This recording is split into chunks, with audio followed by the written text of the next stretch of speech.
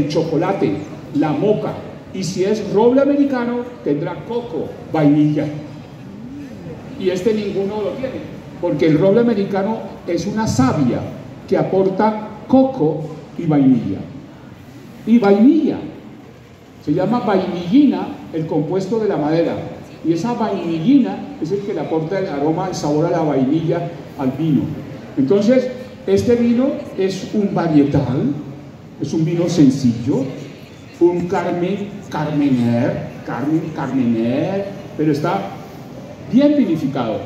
Este es un vino que acompaña en Chile, acompaña eh, pastas, pastas, al igual que el merlot, eh, con salsa de carne, a la boloñesa, eh, pastas napolitana, con salsa napolitana, que es pomodoro.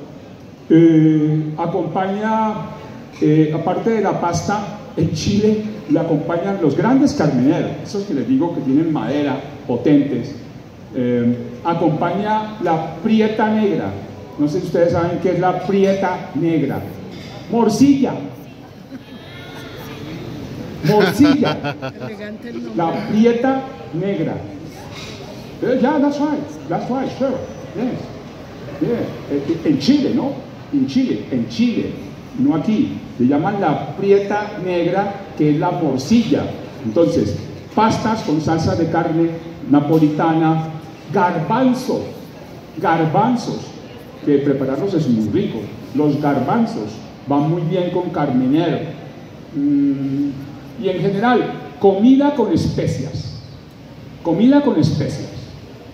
Eh, yo capacité, por ejemplo, al, personal de Archis, hace años, de Archis. Y ellos tienen una pasta, eh, una pasta eh, como al wok, ¿no?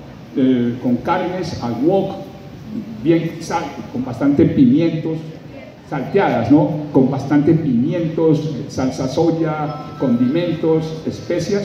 Perfecto este vino. Bueno, entonces, en boca.